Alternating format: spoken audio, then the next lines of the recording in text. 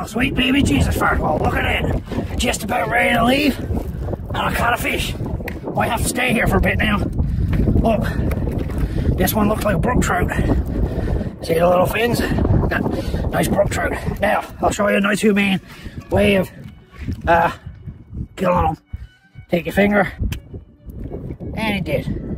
See? Nice humane way of killing them. Nice flick on the head did. And now you don't have to torture poor thing.